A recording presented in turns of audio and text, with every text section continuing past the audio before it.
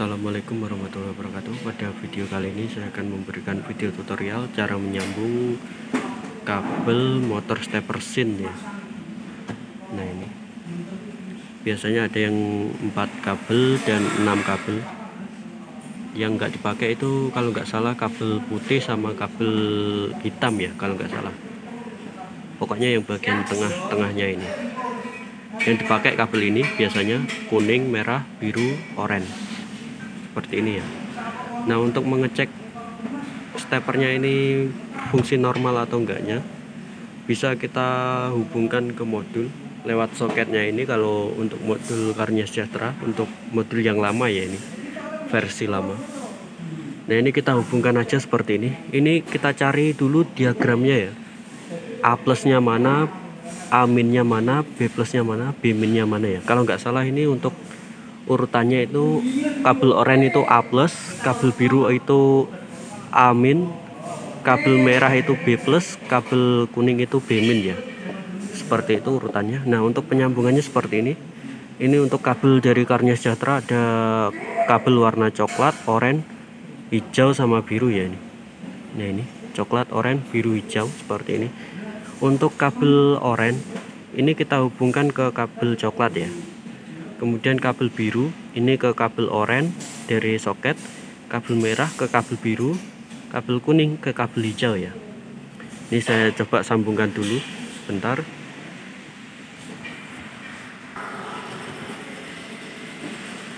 Oke ini udah saya sambungkan ya cuma saya masukkan aja ke soketnya ini. Kabel oranye ke coklat biru ke oranye merah ke biru kuning ke hijau ya nah ini kita nyalakan dulu modulnya. Power modul. Oke driver udah nyala. Nah ini kalau udah benar ini berat ya ini. Kita putar nggak bisa ya ini. Bisa putar pakai jari. Dia nggak bisa berputar. Oke kalau udah kita masuk ke Max 3 ke menu Max 3 software Max 3 nya ini saya pakai USB ya tipe USB kalau plasma pakai Max 3 plasma ya kemudian tadi saya taruh di soket J ya berarti saya jalankan untuk arah maju mundur. Ini harusnya dia berputar. Nah dia berputar ya. Saya balik nah ini mundur. Nah ini normal ya berarti motor stepper ini berfungsi dengan normal. Nah seperti ini. Nah kalau udah berfungsi normal ini soket kita pasang kembali kemudian kita ganti motor stepper yang putus eh, yang rusak ya. Misalkan yang rusak pada sumbu Y axis sumbu Y axis ini ini tinggal kita potong kemudian kita ganti dan urutannya kita samakan lagi ya di sini. Oke saya coba lepas dulu yang ini. Kita coba lepas ya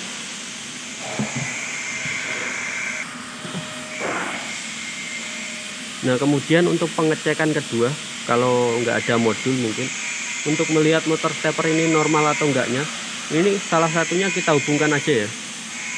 Dari kedua kabel ini kita hubungkan. Kemudian ini pasti kalau terhubung dia diputar berat ya ini. Agak berat ya ini. Berat tapi bisa diputar.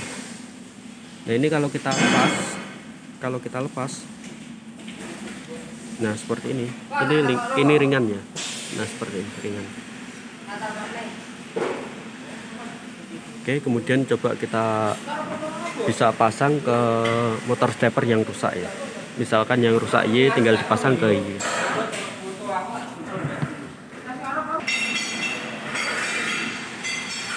Nah pastikan saat memasang ini sebagai contoh saya yang ini aja ya.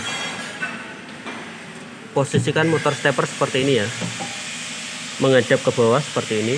Yang ini juga menghadap ke bawah Nah apabila kebingungan untuk memasangnya pastikan untuk memasangnya itu seperti ini ya. Ini urutannya nggak usah kita rubah ya. Jadi yang mulai dari kiri kabel dari kiri kita sambung ke kabel yang paling kiri. Kemudian yang nomor 2 yang nomor 2 nomor 3 nomor 3 nomor 4 nomor 4 ya seperti itu ya.